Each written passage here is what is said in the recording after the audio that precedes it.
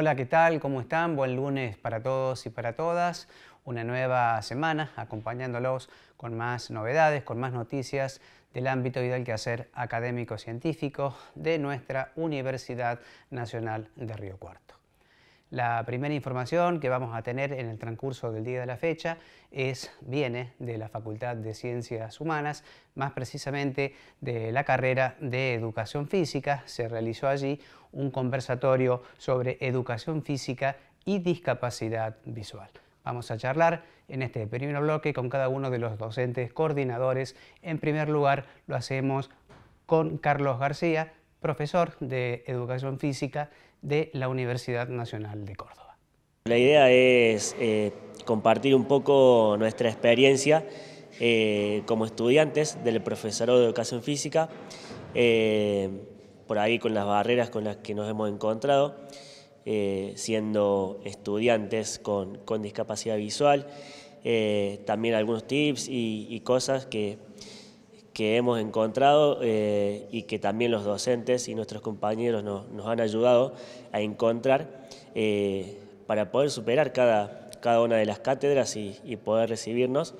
Y, también queremos contar un poco nuestra experiencia dentro del campo docente, del campo laboral, eh, las diferentes betas que hay para poder trabajar y, y, las herramientas y las formas que nosotros hemos encontrado eh, para poder desarrollarnos como, docentes, para poder eh, estar en el campo y, bueno, para poder dar clases y, trabajar como, como todos. Y en el trayecto de formación del profesorado de educación física, ¿qué desafíos encontraron? ¿Cómo lo fueron eh, avanzando? ¿Cómo fueron superando? Y desde mi parte, lo, primero fue ingresar a, la carrera, fue un poco lo más, lo más difícil por por cuestiones de, por ahí de prejuicios y demás. Eh, me costó ingresar, pero bueno, empecé en una institución privada y ahí empecé a estudiar. Y después en las cátedras no tuve muchos inconvenientes, por suerte me encontré con mucha gente que me pudo ayudar. Eh, sí, en algunas específicas, como eh, lógicamente para, para personas que no ven o que ven poco, es complejo el tema de de las cátedras como el voleibol, eh, el softball, en el cual el elemento es un elemento que va por el aire siempre. Eh, entonces es difícil por ahí hacer el cálculo de trayectoria y eso fue un, gran desafío para los profes y para nosotros mismos, poder aprender y poder eh, también ejecutar planes de, desarrollo de, esos aprendizajes. Pero bueno, como digo, con diferentes herramientas y diferentes formas hemos podido eh, superar esas cosas también. La normalización de la diversidad podríamos decir que era uno de los ejes sobre los cuales se trata justamente el tema de la inserción de la discapacidad visual tanto en lo que es los estudiantes de la carrera de educación física, como así también ya los docentes que empiezan, empiezan a ejercer sus tareas en los distintos profesorados de las casas universitarias de nuestro país. Turno a hablar ahora con una docente de la Facultad Nuestra de Ciencias Humanas, Betiana Olivero. Con ella dialogamos en los siguientes términos. Este conversatorio lo estamos organizando desde la Facultad de Ciencias Humanas, desde el programa, eh, un programa integral de derechos humanos que se ha creado y se ha aprobado por Consejo Directivo el año pasado. Y dentro de las temáticas que aborda el programa, una de las temáticas tiene que ver con la accesibilidad y la discapacidad. Entonces, bueno, estamos empezando a generar algunas actividades, ¿no? Y dentro de eso, una de las tareas más fuertes que asumimos en el programa tiene que ver con el acompañamiento de los estudiantes en situación de discapacidad que están transitando la formación académica en la facultad.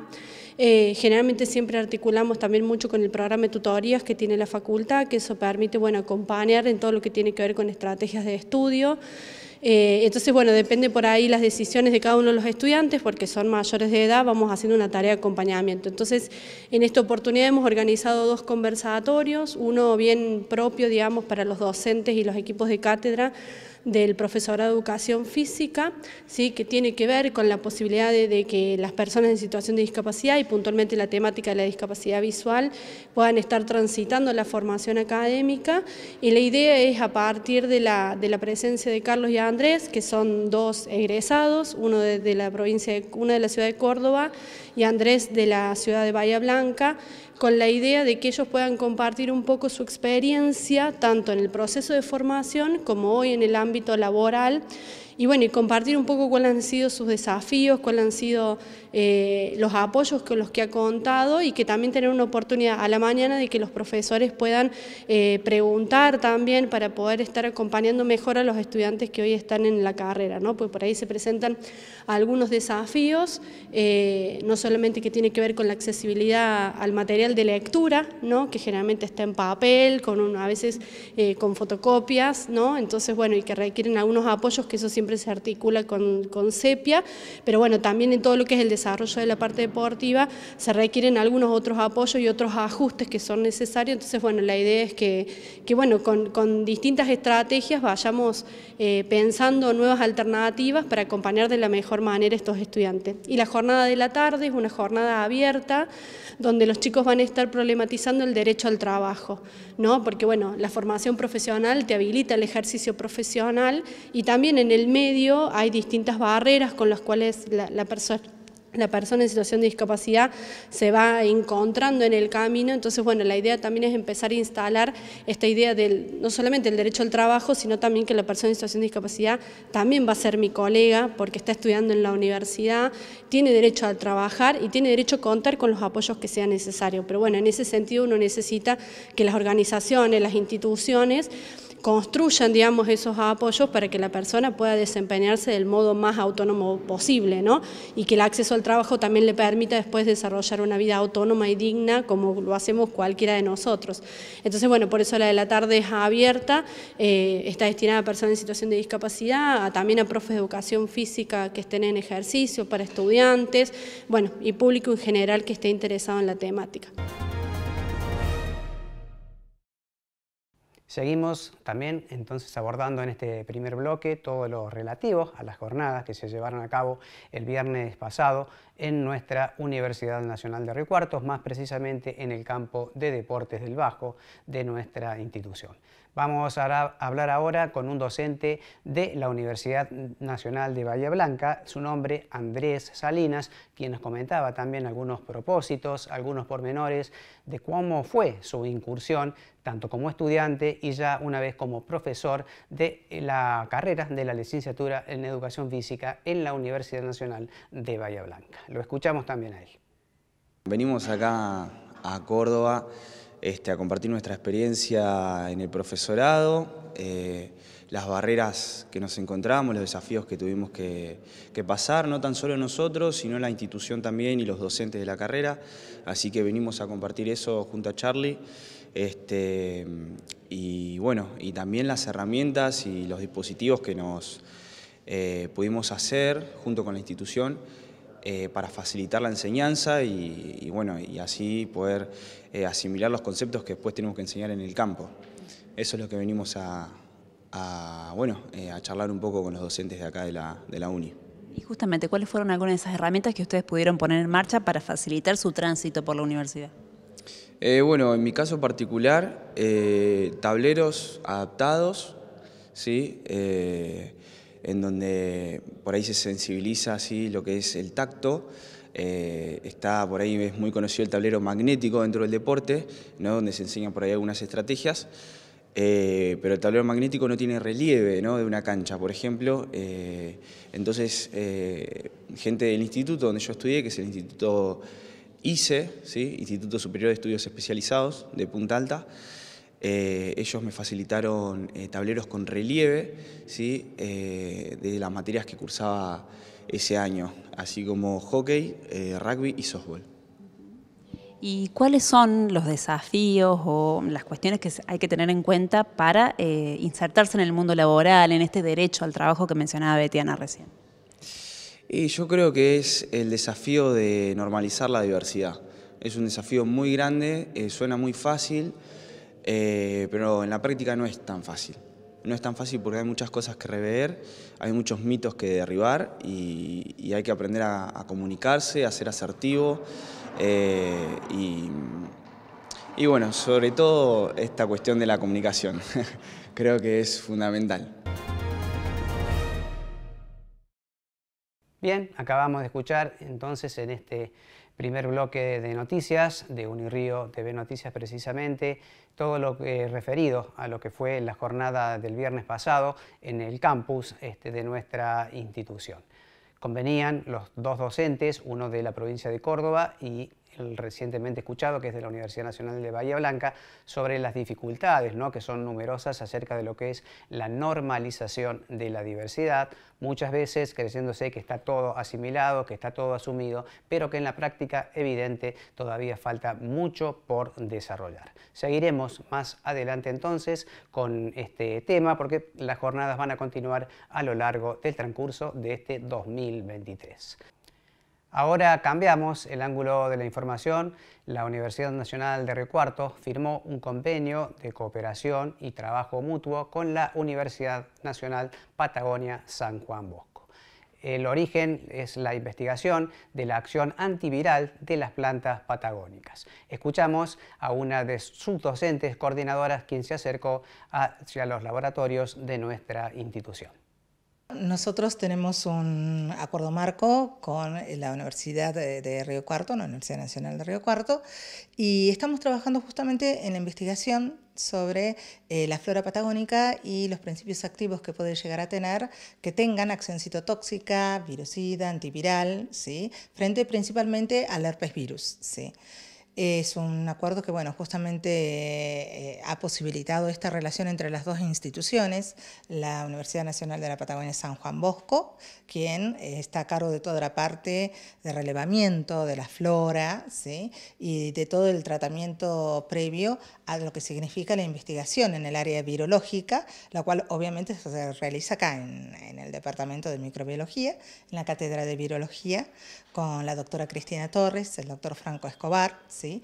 en la parte del el procesamiento, eh, la selección de la flora que nosotros estamos estudiando, eh, está a cargo la doctora Mónica Freile. ¿sí?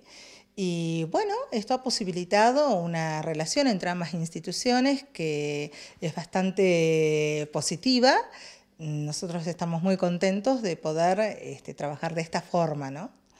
Así que esperamos que, bueno, poder ampliar el espectro. Por ahora empezamos con dos especies patagónicas, eh, Pleurofora patagónica y Acantolipias serifioides, ¿sí? Y bueno, el estudio, como recién mencionaba, era frente a herpes virus, ¿sí? Eh, ya sea el virus Auschwitz como el herpes simple. Profesora, ¿en qué estado está esta investigación? ¿Qué pasos van siguiendo? Bueno, nosotros en este momento estamos haciendo los ensayos de citotoxicidad, este, los cuales ya están prácticamente finalizados, ¿sí? Y comenzamos con ya la parte antiviral, ¿sí? Por ahora con estas dos especies y frente a estos dos virus. Eh, después, bueno, la idea es justamente eh, poder seguir trabajando y ampliar el espectro de análisis. Entonces la valoración que realiza es eh, positiva y con expectativas de continuar trabajando en esta articulación. Claro, por supuesto, consideramos la experiencia sumamente positiva. Eh, creemos que realmente esto enriquece a las dos instituciones y la idea, bueno, es continuar con esta relación y continuar estudiando nuestra flora, ¿no? Si bien la flora del río Colorado hacia el norte está muy estudiada, la del río Colorado hacia el sur está siendo estudiada, pero no tanto en este área, en el área este, virológica. Ahí estaban entonces los conceptos de María Elena Antonietti, la docente de la Universidad Nacional Patagónica San Juan Bosco. Vamos a seguir también con este tema porque justamente, según lo acordado por ambas casas de estudios, este, la investigación se va a desarrollar también a lo largo de todo el presente año 2023. Por ahora hacemos una tanda institucional y enseguida retornamos con más información.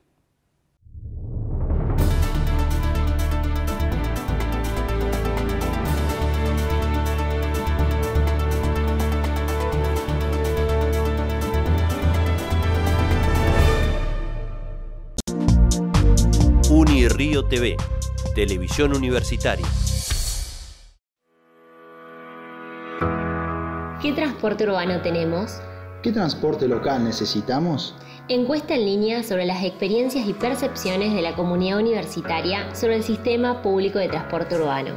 Si sos estudiante, graduado, docente o no docente de la UNRC y usas el transporte urbano, te invitamos a responder la encuesta sobre el actual funcionamiento del sistema de transporte local Completa el formulario ingresando al CISINFO en la sección Formularios. Completarlo no te llevará más de 12 minutos y con tu respuesta podés contribuir a mejorar las condiciones locales del sistema de transporte urbano. Compartí la encuesta con tus compañeras, compañeros, colegas y otros miembros de la UNRC. Instituto de Investigaciones Sociales, Territoriales y Educativas, Universidad Nacional de Río Cuarto y CONICET.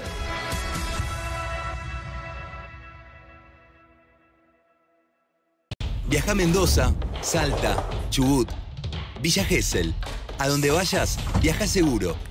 En el micro también usa el cinturón de seguridad. Ministerio de Transporte, Argentina Presidencia.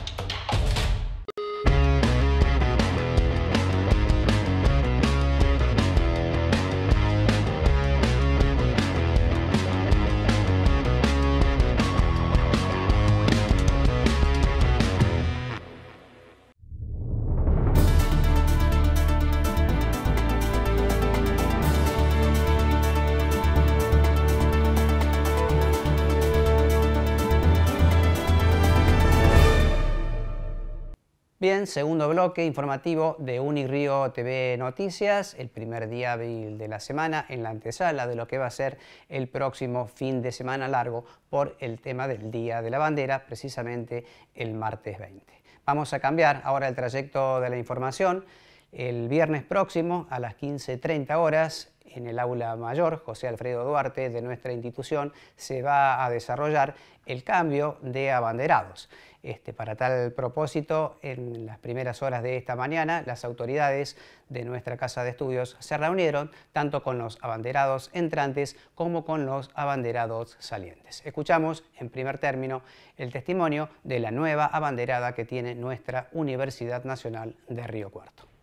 Primero que nada, eh, significa como bueno, un reconocimiento justamente por toda la trayectoria que he recorrido eh, y un reconocimiento no solo para mí, sino para toda la gente que me rodea, mi familia, mis compañeros de la uni, mis amigas del colegio, mis profes del colegio, mis seños, me hace acordar como un montón de cosas. Eh, significa una gran responsabilidad también porque implica en cierto sentido representar eh, a los estudiantes de la uni, entonces significa una gran responsabilidad que, que estoy dispuesta a llevar, ¿no? En muchos sentidos, en el sentido político, en el sentido educativo, como, como futura profesional, entonces, bueno, eso. Ana Paula, ¿de qué colegio venís? ¿Por qué te remontás al secundario? Y además eh, a tus compañeros actuales de filosofía. Em, vengo del San Buenaventura. Eh, mi mamá trabaja ahí, así que de chiquita voy al San Buenaventura, es maestra del primario. Em, y bueno, tengo un montón de recuerdos re lindos y me parece que me ha ayudado mucho en mi formación, en como estudio filosofía, en mi lectura de textos, como que me ha dado un montón de herramientas eh, para poder desenvolverme. ¿Cómo ha sido ese trayecto en la carrera de filosofía? ¿Qué cuestiones destacas que te hacen llegar a este momento de ser abanderada de la universidad? Bueno, yo creo que más que nada destaco las personas que me han acompañado. Em, como dije, mis compañeros, pero también los profesores. Yo el eh, primer y segundo año los estuve en pandemia, así que fue muy extraño todo eso, pero nunca me sentí sola, me sentí muy acompañada por los profes. Eh, hicieron un espacio, de ese espacio tan distinto, tan raro, tan difícil para todos, un momento en donde podíamos ir reflexionando y haciéndonos preguntas sobre la pandemia y sobre otras cuestiones. Así que fue muy importante eso. ¿Qué es lo que te, más te interesa de la filosofía? Em, yo creo que me interesa más que todo la, posibilidad de, realizar un cambio de, la situación actual, de, las dificultades, pero también la posibilidad de no quedarnos estancados, sino siempre poder eh, pensar algo nuevo, darle vuelta a algo para pensarnos distinto. Ahí compartíamos entonces el testimonio de Ana Paula Díaz, flamante, abanderada de nuestra Universidad Nacional de Río Cuarto, ella estudiante de la carrera de Filosofía. Escuchamos ahora a sus compañeros, los dos escoltas, que presidan la bandera en la próxima ceremonia del día viernes a las 15.30 horas en el aula mayor. Es muy importante para mí, eh, más que nada por eh, lo que representa y por, digamos, representar también al, a la carrera de computación ¿no? Eh, y al departamento de computación en particular que siempre eh, brindó todo su apoyo ¿no? a mi formación y al grupo de investigación de métodos formales e ingeniería de software que desde mitad de mi carrera más o menos me han estado acompañando, así que eso. ¿Cómo fue que te decidiste a estudiar computación y cómo ha sido ese trayecto de formación?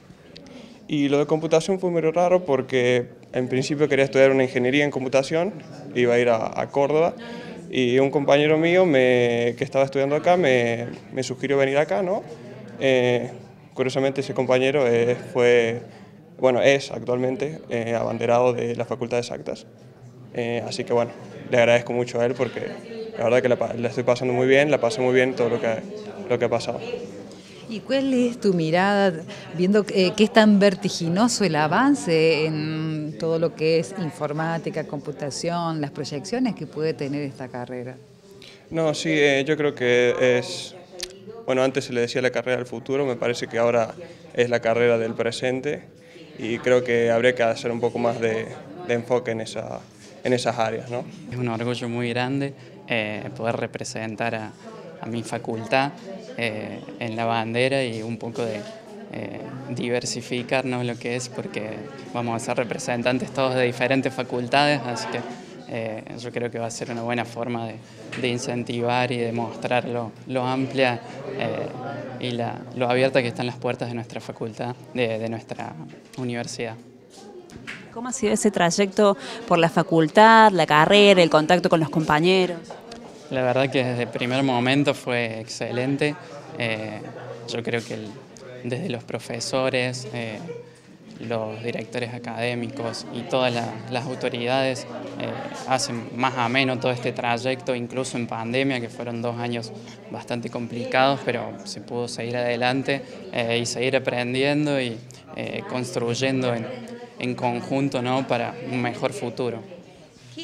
Eh, significa eh, representar también a esta facultad como escolta. ¿Qué es lo que te llevó a estudiar la, carrera que elegiste? Eh, bueno, yo siempre estuve muy relacionado con el campo, era una de mis pasiones que viene desde familia. Y por otro lado, desde que fui creciendo ¿no? y estudiando en mi escuela secundaria, fui como dándome cuenta de la importancia del medio ambiente, de la sustentabilidad. Entonces por ahí combinar un poco esas dos cosas, eh, creo que agronomía era una buena opción. Estamos atravesando la semana de la vinculación tecnológica, la Semana Nacional de la Vinculación Tecnológica. En ese marco, mañana martes a las 16 horas se va a desarrollar una charla taller en nuestra institución generando valor desde la investigación. Escuchamos, nuestros compañeros de trabajo hicieron una nota con Marco Targueta, responsable de la unidad vinculación tecnológica de nuestra Casa de Altos Estudios. Con referencia a esta charla que, vamos a generar el día de mañana a las 16 horas, se enmarca dentro de la Semana de la Vinculación Tecnológica eh, Nacional, digamos, el 4 de junio, y en ese marco las distintas universidades que conforman el CIN eh, generan actividades, actividades que tienen que ver con la vinculación, con la transferencia de tecnología, para ver cómo valorizamos los resultados de investigación de las universidades y generamos procesos de transferencia de tecnología que cambien que generen impacto en el territorio.